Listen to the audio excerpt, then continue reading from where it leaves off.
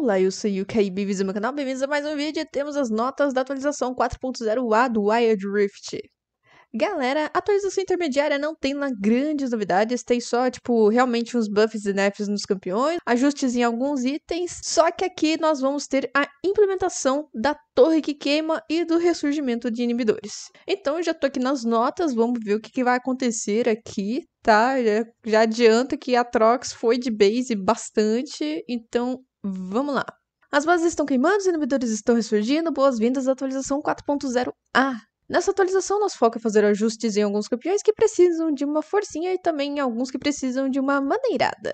Também trouxemos a queima base e o ressurgimento de inibidores ao jogo, abrindo um novo leque de possibilidades para as estratégias nas últimas fases da partida. Sabemos que essas mudanças são uma baita novidade, então ficaremos de olho nos resultados enquanto vocês contam é, o que acharam dela. Então, galera, é o seguinte: vai depender de muito feedback de vocês saber como é que vai ficar essa mecânica de queimar torres e inibidores e ressurgimento de inibidores daqui para frente. Então, quem cair nesse tipo de partida onde queima a torre e o inibidor surge, dá feedback. Muito, bastante.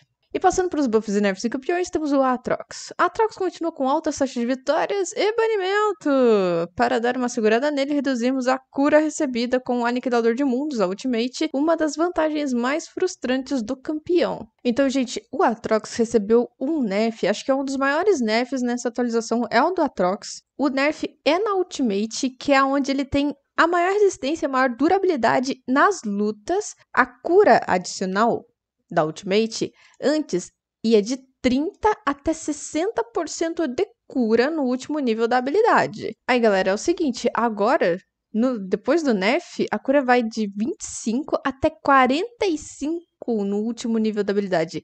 Então reduziu bastante o potencial de durabilidade do Atrox nas lutas. Ontem, inclusive, eu tava assistindo a live do Patrick, lá um dos membros do canal do Mundo Avatar. Ele joga o Wild Rift, faz livezinhas. Vou deixar o canal dele aqui na descrição. E, cara, no time dele tinha o Atrox. O Atrox do time dele não resistia nada. Nada, o Atrox entrava na teamfight e somia. Antes o Atrox entrava na teamfight e ficava lá pleno. Agora o Atrox está sumindo. Significa que o campeão morreu? Não exatamente porque o resto do kit do Atrox está ali intacto. O que vai precisar mudar são as builds dele. Então já falamos do Atrox, bora continuar. Action, habilidade 2. Rebeldia. O tempo de recarga decaía de 18 até 6 segundos, agora vai cair de 14 até 2 segundos no último nível da habilidade. Meu Deus. E temos também uma nova mecânica para essa habilidade. Ela agora vai regenerar 2% do mana perdido por segundo ao perseguir canalhas. Então, isso aqui vai ficar interessante pro action. Ash, habilidade 1, concentração, velocidade de ataque base, antes ia de 25 até 40%, agora vai de 25 até 55% de velocidade de ataque base no último nível da habilidade. Isso aqui é um buff bem interessante para Ash. E a rajada, que é a habilidade 2, o tempo de recarga ele vai aumentar 2 segundos em todos os níveis da habilidade. Então a Ash sofreu aí um ajuste, galera. Blitzcrank, habilidade 2, Turbo, velocidade de movimento da habilidade após o decaimento da primeira aceleração. Antes era 10%, agora subiu para 25%. E a velocidade de movimento após o decaimento da segunda aceleração era 25%, agora vai para 50%. Eco, passiva, ressonância Rivuzê, modificações contra monstros. A modificação contra monstros aumentou de 110 para 140%. Então é que ficou um pouco mais fortinho aí. Diferente do Atrox, aqui o Caim está sendo bem fortalecido e é o Caim assassino das sombras. Então vamos dar uma olhada em como vai ficar aí as estatísticas novas do Caim assassino das sombras, o Caim azul. Passiva, foi esse Darkin. O tempo de redefinição passivo do assassino das sombras antes era 6 segundos, agora vai para 5 segundos. O dano adicional passivo do Assassino das Sombras ia de 14 até 42, agora vai de 32% até 46%. Ficou fortinho aí, deu uma, uma boa ajustada na passiva dele. E aumentou a quantidade de cargas que o Assassino das Sombras recebe ao causar dano em campeões de ataque à distância. Então vai estacar aí um pouquinho mais rápido, eu acho. Agora, na habilidade 3, Passo das Sombras, o tempo de recarga do Assassino das Sombras diminuiu em 1 segundo, antes era 8, agora é 7 segundos. É bom também, isso aqui é muito bom, na verdade. E Ultimate Transgressão do Umbral, o alcance do Assassino das Sombras foi levemente aumentado. Então toma cuidado se você tá fugindo do Caim assassino, porque ele vai conseguir chegar em você, tá? Não é mais aquela distância, aumentou um pouquinho. Quanto pouquinho significa, não sei. Lucian, habilidade 1, luz perfurante. O dano base antes dia de 95 até 230, então aqui foi aumentado nos primeiros níveis e no nível intermediário da habilidade, 110, 150, 190 e 230 de dano. Então o último nível da habilidade ficou o mesmo, mas o resto foi assim, bufadinho. Lux, pelo que eu tava vendo os meus Lux comentarem, assim, perdeu bastante aí no escudo dela. A Lux, na verdade, tá sofrendo um ajuste aqui nessa atualização. Então, aqui na habilidade 2, barreira prismática, o escudo antes ia de 40 até 130, mais 15% do poder de habilidade. Agora, parece que deu uma aumentada, mas, assim, vai de 40 até 145 de escudo no último nível da habilidade, mais 10%. Então caiu na porcentagem de escudo recebido através do poder de habilidade que a Lux tem. Então escudo, na primeira ida do escudo, é, não vai dar tanto escudo assim, aparentemente. E ao retornar, Antes ele dava de 80 a 260 de escudo no último nível da habilidade, mais 30% do poder de habilidade. Agora, ele vai dar de 80 até 290 no último nível da habilidade, mais 20% de poder de habilidade, ou seja, que caiu 10% do retorno, que era para ser o, o, escudo maior, então ele não vai ser um escudo tão maior assim.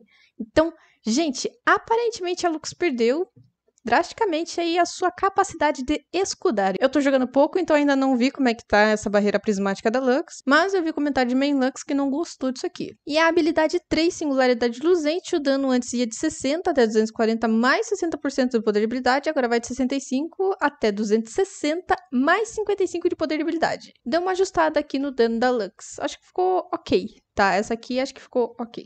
Nautilus, habilidade 1, lançar âncora. O tempo de recarga antes decaía de 11 até 8 segundos, agora vai decair de 12 até 9 segundos, isso aqui é um nerf considerável. E o dano base antes era de 70 até 250, agora caiu para 60 até 240. O dano, ok, o Nautilus Sport não tem que dar tanto dano assim. Hack. Habilidade 2, entrada triunfal, dano base era de 80 até 290, agora vai ser 70 até 280. Deu uma caidinha aí no dano do Rakan quando ele entra nas lutas. Quando ele dá o pulinho lá, não vai causar tanto dano assim. E Dança da Batalha, o escudo do Rakan, o tempo de recarga aumentou em 2 segundos em todos os níveis da habilidade. Então isso aqui é um nerf muito considerável para o Rakan. Isso aqui nossa, deu uma quebradinha aí na, nas perninhas do, do, do pombinho. O set também vai sofrer alguns ajustes. O dano de ataque base dele vai subir de 52 para 58 e a velocidade de ataque por nível vai diminuir de 1,7% para 1,2%. Ou seja, o set vai dar um pouco mais de dano, mas vai bater um pouquinho mais devagar. E vamos comemorar que o Yone vai receber nerf, galera. Olha só, habilidade 2, Fenda Espiritual, dano mínimo contra tropas antes ia, variava de 50 até 400, vai variar agora de 60 até 200. A habilidade foi muito nerfada, não vai limpar tropas tão bem assim. Prestem atenção nisso, tá, galera? Vai gastar aí, não sei o que, o Yone não gasta nada, né? Devia ter diminuído para muito menos ainda. Continuando.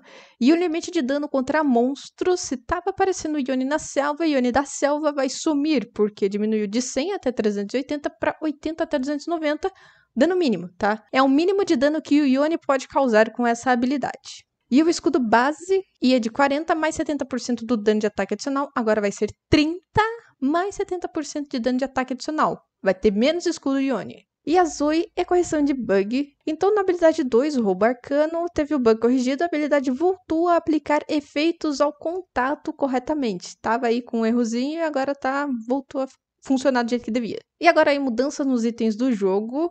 Ladrão da Almas Desperto.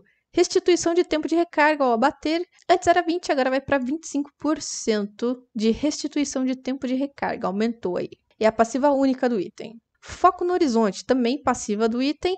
Dano antes era de 80 mais 20% de poder de habilidade, agora é 90 mais 25% de poder de habilidade e o item ficou mais fortinho. E o eco de luta, e também na passiva única do item, o dano relâmpago antes era 100 mais 10% do poder de habilidade, agora é 110 mais 10% do poder de habilidade. Deu uma aumentadinha aqui, ficou um pouquinho mais forte. E finalmente aí, sistemas, temos chegada da queima de torres e inibidores e ressurgimento de inibidores. Então são duas coisas novas aí vindo de mecânica para o jogo em si. Efeito de queimar torre e queimar inibidor chama queima base.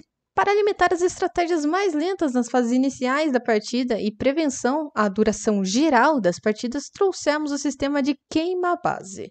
No final do jogo, as torres começarão a queimar, acelerando as partidas para finalizá-las. Eu sei que vai ter gente falando, mas vai botar negócio para queimar e botar inibidor para atrasar a partida. Não, galera, vocês estão aí meio que confundindo algumas coisas. E lembrando que a variável que atrasa um jogo são os próprios jogadores, não a mecânica em si. Então vamos lá, galera. Aos 25 minutos, ou seja, essa partida já está durando mais do que ela deveria, as torres mais externas de cada rota perderão 25 de resistência mágica e 25 de armadura, além de 3% da vida máxima a cada 3 segundos. Gente, a queima de estruturas começa a partir dos 25 minutos. Como é que você vai atrasar mais uma partida, sendo que ela já está durando mais do que ela deveria? Então isso aqui vai ajudar a acelerar sim a finalização da partida. As torres dos inibidores pararão de sofrer dano de queima quando a vida delas baixar para menos de 25%. Então, mesmo que todas as estruturas das rotas caiam quando chegar na torre inibidora e no inibidor em si, se não tem mais a torre, tem o inibidor, eles vão queimar até menos de 25%. Aí você tem que ir lá com o seu time destruir essas estruturas ou esperar uma onda de minions destruir as estruturas. E o mais importante, a queima base não afeta o Nexus, então não vai queimar o Nexus. Ressurgimento de inibidores. Essa aqui é a parte onde a galera tá falando que por que botar isso aqui se vai botar isso aqui para atrasar a finalização da partida. Não é exatamente assim que funciona. Para abrir mais espaço para reviravoltas, ou seja, viradas interessantes no meio e fim de jogo, os inibidores agora ressurgirão. Então, se tem o primeiro inibidor, se ele é destruído, ele pode ressurgir depois de um tempo. Quando isso acontece, o inibidor que ressurge não pode causar dano a unidades inimigas. O tempo de ressurgimento dos inibidores escala junto com a duração da partida. Então, perder um deles das primeiras fases do jogo será menos impactante, enquanto nas fases posteriores essa estratégia continuará sendo poderosa na hora de finalização de partida. Isso aqui é interessante para aquela partida onde meio que os dois times acabam se equilibrando. Você vai para teamfight, você tem rotas empurrando lá com super tropas, mas durante a teamfight os dois times meio que conseguem anular um ao outro. E daí fica aquela coisa, tipo, vai e não vai. Daí chega nessas partidas aqui com mais de 25 minutos. Então daí, geralmente, uma hora ou outra, um time consegue assim ficar na área de teamfight, sobrevive dois, depois começa a sobreviver três, esses três começam a empurrar um pouquinho mais, e aí vai e finaliza a partida. É mais ou menos assim a ideia. Só que, para eles conseguirem finalizar a partida mais tranquilamente, se tiver um inibidor impedindo o surgimento de super tropas, vai ser bom, tá? Vai ser uma estratégia boa. Então, aqui, a galera vai precisar começar um pouco, pensar um pouquinho mais nas estratégias do que fazer quando tiver a base um pouco mais fragilizada. Então, como já falou aqui, os inibidores escalam, o tempo de ressurgimento do inibidor escala conforme for a, a duração da partida. O ressurgimento de inibidores tem como base o tempo de partida depois que a estrutura é destruída. E como assim? Quando você destrói a primeira torre inibidora e depois os inibidores seguintes, tá? Então, a primeira estrutura destruída é a torre inibidora e o primeiro inibidor ressurge, tá? Depois que a estrutura é destruída.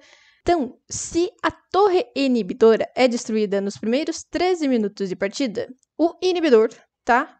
Ressurge depois de 4 minutos. Então, tá ali no começo da partida, deu 13 minutos, caiu a torre inibidora. O primeiro inibidor, tá? Daí o primeiro inibidor surge após 4 minutos. E depois disso, depois disso a gente tem o seguinte: se o inibidor for destruído entre 13 minutos e 18 minutos de partida, ele ressurge depois de 5 minutos. Então, se eu destruo a torre inibidora até os 12 minutos, o primeiro inibidor vem após 4 minutos. Passou de 13 minutos até ali 17 minutos e 59 segundos, ele ressurge depois de 5 minutos. Se o inibidor for destruído após 18 minutos de partida, ele ressurge depois de 6 minutos, tá? Gente, fala sério você destrói uma estrutura e tem um tempo de 5 minutos até uma nova ressurgir, a gente tem um tempo bom, tá? Tem um tempo bom aqui para aproveitar antes que o inibidor venha, dá para fazer um push bom de rota para levar a base inimiga. Então, tempo tem. A Riot deixou um tempo bem grande aqui pra gente, para quando as estruturas forem ressurgindo. Então tá uma margem de tempo muito boa pro que é o tempo do Wild Rift pra gente conseguir finalizar a partida em pushes ou estompando, ou de algum jeito aí finalizar as partidas antes que uma nova estrutura ressurja. E como dito, os inibidores não podem atacar depois de ressurgir. O inibidor não dá dano, ele só inibe o surgimento de super tropas. É isso, essas são as novidades para atualização. Eu espero que vocês tenham gostado, eu espero que vocês aproveitem as novas mecânicas. Eu tô jogando pouco, então não sei se eu vou conseguir ver essa parte do sistema em funcionamento. Vocês que tiverem partidas absurdas com mais de 25 minutos, volta aqui ou vai lá nas minhas DMs das redes sociais, fala para mim como é que tá sendo a experiência de vocês com essa nova mecânica aqui de queima base e o ressurgimento de inibidores. É isso, se gostaram do vídeo, deixa um like, partilhem com os amigos, se inscreva no canal, acompanhe também as minhas outras redes sociais, link para elas tá aqui na descrição. Obrigada, até a próxima e tchau.